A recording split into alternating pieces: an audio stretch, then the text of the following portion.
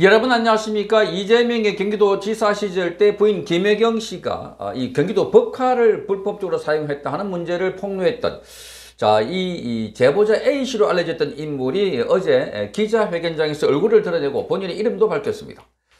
자, 경기도 어, 법카는 어, 기본적으로 공무원들만 사용할 수 있는데 그런데 김혜경 씨, 자, 김혜경 씨의 법카를 사용했다고 해서 이걸 그동안 어, 이 김혜경 씨 밑에서 일했던 5급 공무원 배소연 씨와 그리고 그 밑에서 일했던 7급 공무원으로 일했던 A씨로 알려졌던 인물 바로 조명현 씨가 어제 국회에서 임 얼굴을 드러냈습니다.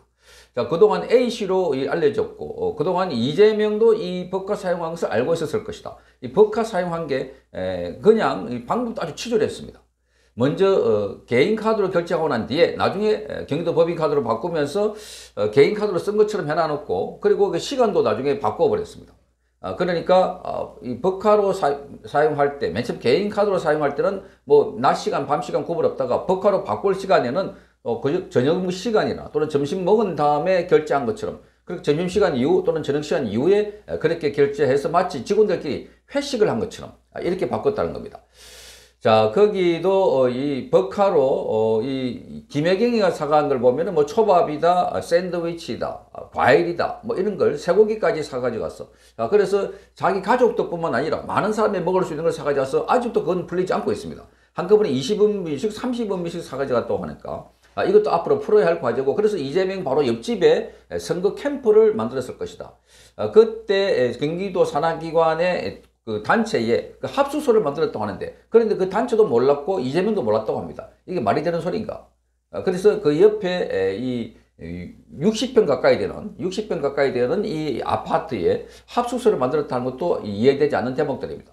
자 어쨌든 이런 상황에 폭로했던 이 조명현 씨가 어, 어제 관련해서 자 이 그동안 기자회견을 쭉 설명하면서 자, 이 이재명도 알고 있었을 것이다. 그리고 이재명은 그동안 이 법을 어긴 사람인데, 자, 이재명은 법을 어기가지고 자기가 공격 제보를 했는데도 불구하고 본인은 자, 떳떳한 듯이 돌아다니고 있고, 그런데 제보한 사람은 숨어 다니고 이름도 밝힐 수 없고, 자, 이런 상황에서 원래 국회에 출석을 해서 공익 제보자들이 이렇게 어렵게 힘들게 지내고 있다 하는 것을 어, 이 정은하기로 되어 있었는데, 그런데 이제 여기가 공익 제보자의 어려움이 아니라 바로 이재명의 또는 김혜경의 법인카드와 관련해서 폭로했던 사람인 줄 알고 더불어민주당에서 그를 취소를 해버렸다고 합니다. 그런데 이거는 법으로 민주당에서 일방적으로 취소할 게 아니라 국민의힘에서도 동의하지 않으면 안 되는 부분인데 그런데 출석해가지고 국정조사에서 국정감사에서 이런 것들이 드러나게 되는데 국민의힘이 왜 끝까지 그걸 고소하지 못했을까 하는 아쉬움도 매우 많게 남아 있습니다. 자, 어쨌든 어제 기자회견을 하면서 이재명도 과거에 뭐 커피 믹스나 배터리까지 전부 다 법인카드로 사용했다. 그리고 산프, 일제 산프를 사오라고 저 청남도까지 신부름을 보냈는데 역시 그것도 마찬가지였다. 자, 그리고 제사상에 들어갈 거, 뭐 이런 것까지, 재수까지도 전부 다 법인카드로 사용했고, 나중에 그 용도는 직원 격려용으로 바꿨다고 합니다. 자, 이걸 보면 이재명이 모를 수 없다라고 해서 지금 이 건과 관련해서 자, 국가권익위원회에서도 이재명 지사도 이게 인지했을 것이다. 이렇게 보고 자, 검찰의 수사를 의뢰했습니다. 자, 검찰도 이 부분에 대해서는 본격적으로 수사를 하는데 자, 어제 조명현 씨가 기자회견을 하고 났는데 이렇게 말했습니다. 기자회견이 끝나고 국회 건물 밖에 있는데 이재명 대표 측근 정진상 밑에서 일했던 사람이 나를 무서운 눈빛으로 한참 바라봤습니다. 여전히 두렵습니다. 이렇게 말했습니다. 자, 그동안 이 조명현 씨가 밖으로 나오지 못했던 것도 굉장히 두려움 때문이었습니다.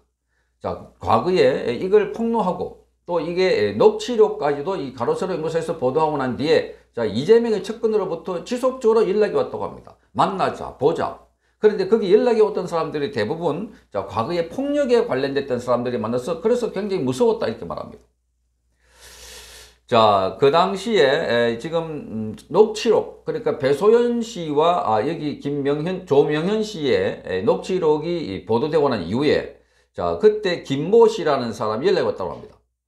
자, 김 씨는 이 이재명이 변호사 시절 때 변호를 맞았던 조폭 2007년도 조폭 사건의 피의자였습니다.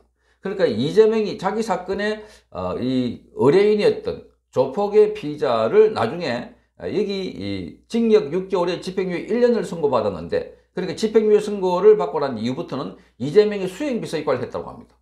그러니까 조폭 변호를 맡고 있다가 나중에 그 조폭을 자신의 수행 비서로 채용했다. 정말 그것도 기막힌 일인데. 그런데 이 김모 씨가 전화 와가지고, 자, 이 조명현 씨가 전화 와서, 자, 이렇게 그냥 잘못, 잘못한 것을 잘못한 것이라고 이야기한 뿐이다. 이렇게 조 씨가 이야기를 했습니다. 그러자 이, 이, 김 씨가 한 이야기가 뭐 그건 너의, 너의 판단인 거고, 어찌됐건 어, 누구의 잘못도 아니다. 이렇게 하면서 한번 보자고 말했다고 합니다.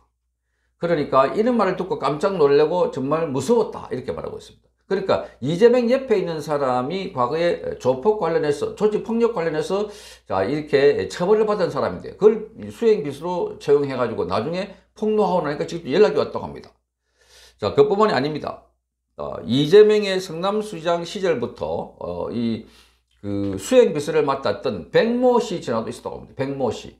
이제 조명현 씨가 전화 받은 사람들 중에 백모 씨도 요거는 이제 과거의 사건입니다. 과거에 폭로하고 난 뒤에 있었던 사건들입니다. 자, 백 씨는 전화를 걸었지만 연결이 되지 않자 아, 이, 이 조명현 씨에게 전화 통화 좀 할 수 있을까라고 문자 메시지를 보냈다고 합니다. 자 그런데 이, 이걸 보고 깜짝 놀란 게 이 백 씨는 과거 어, 이재명의 형이 강제 입원했을 때 그 전후로 해가지고 형에게 욕설과 협박 문자를 보낸 인물이다 이렇게 알려지고 있습니다. 그러니까 이재명 옆에 있는 이백 씨도 어, 과거에 자기 친형 이재명의 형에게 협박 문자를 보낸 인물로 알려지는데 자, 이백 씨는 왜 이 조명현에게 연락을 했느냐 하는 그 당시 질문 어, TV조선이 질문을 하니까 10년 전부터 알던 사이로서 무슨 일인가 해서 전화했을 뿐이다 이렇게 말하고 있습니다. 그러니까 이 폭로했던 조명현 씨가 과거에 폭로하고 난 뒤에 연락을 받았던 사람들 중에는 배소연 씨도 있고 그런데 여기는 백모 씨 자, 백모 씨, 과거에 여기도 어, 이 이재명과 관련해서 자기 형에게 문자로 욕설까지 했던 자, 이런 사람이 연락을 오고 또는 김모 씨, 자, 이 직접 조폭 관련해서 폭력 등을 관련해서 이재명이 변호를 했다가 나중에 그 피의자가 이재명이 수행 비서됐는데 거기도 연락이 왔다는 겁니다. 그러니까 여기 지금 폭로했던 이재명의 법과 관련돼서 폭로를 했던 조명현 씨에게 연락을 한 사람들 가운데는 자, 이게 그 폭력과 관련된 사람들이 연락이 많이 오더라. 그래서 매우 무섭다, 겁났다 이렇게 말하고 있습니다. 그래도 어제 기자회견을 하고 난 뒤에도 정진상 밑에 일했던 사람이 자, 이 무서운 눈빛으로 한참 내려봤다는 겁니다. 무서운 눈빛으로.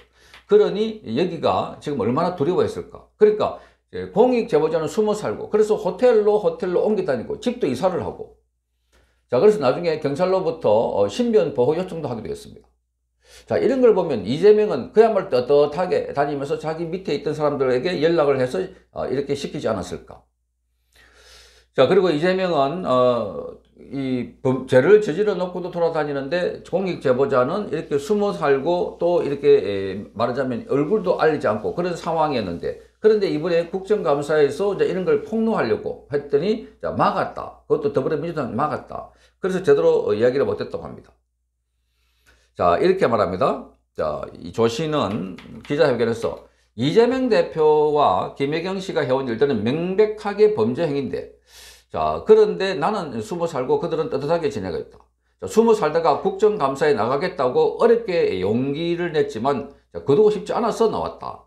나의 신고를 두고 돈 때문에 그런다. 이런 따위의 엄해성만을 하고 있다. 자, 돈 때문이었다면 신고 대신에 이재명을 찾아갔을 것이다. 이렇게 말하고 있습니다. 자, 어쨌든 이렇게 지금 그 조명현 씨가 느끼고 있는 것은 두렵다. 어, 그래서 어제도 기자회견을 하고 나니까 정진상 밑에 있는 사람이 계속 무서운 눈빛으로 한참 쳐다보더라. 아, 이런 걸 보면 이재명 주변에서 왜 그렇게 많은 사람들이 극단적인 선택을 했을까? 그것도 미스터리지만 자, 이렇게 보면은 많은 사람들이 이재명 주변에는 폭력과 관련된 사람들이 많다는 점. 그래서 정작 옳은 일을 하고 잘못된 걸 잘못했다고 이야기를 한 사람이 숨어 지내는 이런 상황이 되고 이재명은 영웅처럼 떳떳하게 지내는 이런 시스템. 자, 이걸 빨리 바꿔달라. 그래서 이 조명현 씨의 이 사례도 바로 그런 경우가 아닐까 이렇게 봅니다. 그래서 이재명에게 빨리 처벌을 받아야 자 이렇게 정당한 사람들이 어, 이 밝은 데 나와서 제대로 얼굴을 들고 살 수 있고 죄를 지은 사람들은 처벌을 받는 시대 그런 시대가 반드시 돼야 할 것입니다. 성창경 TV였습니다.